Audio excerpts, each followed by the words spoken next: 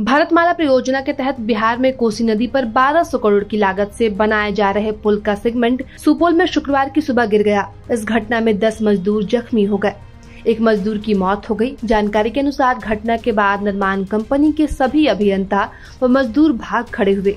लेकिन स्थानीय लोगों ने मानवता का परिचय देते हुए सभी जख्मी मजदूरों को बाइक के सहारे अस्पताल पहुँचाया। बता दें कि पुल के सेगमेंट के गिरते ही धरती इतनी कांपने लगी कि आसपास के लोगों को लगा कि भूकंप आ गया है। लोग अपने अपने घरों से बाहर भागने लगे। इसी बीच पुल निर्माण स्थल से मजदूरों की चीखने चिल्लाने की आवाज़ सुनाई दी। लोग किसी अनहोनी की आशंका का अंदेशा लगाते हुए कार्यस्थल की ओर दौड़ पड़े, जहाँ लोगों ने देखा कि कई मजदूर चोट की वजह से बालू की रेत पर करार रहे। इसके बाद लोग जख्मी मजदूरों को बाइक के सहारे स्थानीय अस्पताल पहुँचाने लगे। इसकी खबर आसपास के इलाकों में आग की तरफ़ फैल गई। भारी संख्या में लोग निर्माण स्थल पर पहुँचने लगे और घटना घटित होने के बाद डर के मारे निर्माण में लगे कंपनी के सभी अभियंता साइड इंचार्ज सहित बगल के टेंट में आराम कर रहे मजदूर मौके से भाग खड़े हुए। लेकिन स्थानीय लोगों ने मोर्चा संभाले रखा।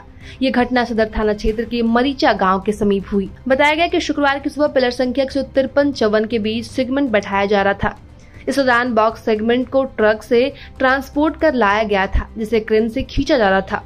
इस दौरान किसी एक कोने का क्लिप ढीला पड़ गया, जिस कारण सेगमेंट बॉक्स ट्रक पर गिर गया। ट्रक पहले से एक सेगमेंट बॉक्स पर खड़ा था और इसी वजह से दूसरा सेगमेंट बॉक्स भी गिर गया। देखते देखते करीब 12 बॉक्स गिर गए और ये सेगमेंट बॉक्स दो पिलर के बीच थे। वही जानकार बताते हैं कि क्रेन का पिन टूट जाने के कारण बॉक्स सेगमेंट गिर गया। इसके बाद टूटे मलबे को हटाने के लिए क्रेन का इंतज़ार किया जाने लगा। अब भारी भरकम क्रेन रहने के कारण काफ़ी देर तक मौके पर नहीं पहुँच सकी। लोग अंदेशा जता रहे थे कि इस मलबे में और भी मजदूर फंसे हो सकते हैं। मालूम हो कि बकौर की तरफ़ से ट्रांसरेल लाइटिंग लिमिटेड कार्य करवा रही है, जबकि मधुबनी ज़िले के भेजा की ओर से Gammon engineers and construction private limited पुल का निर्माण करा रहा है। वही भारतमाला प्रोजेक्ट के तहत पाँच पैकेजों में पुल बन रहा है। इन्हीं में से एक पैकेज में इस पुल का निर्माण हो रहा है। ये पुल सामरिक दृष्टिकोण से भी बहुत महत्वपूर्ण है। ये पुल नेपाल, बांग्लादेश और भूटान के साथ उत्तर पूर्व के राज्यों को जोड़ेगा। प्रभात खबर डॉट कॉम, विश्वास वही, रफ्तार नहीं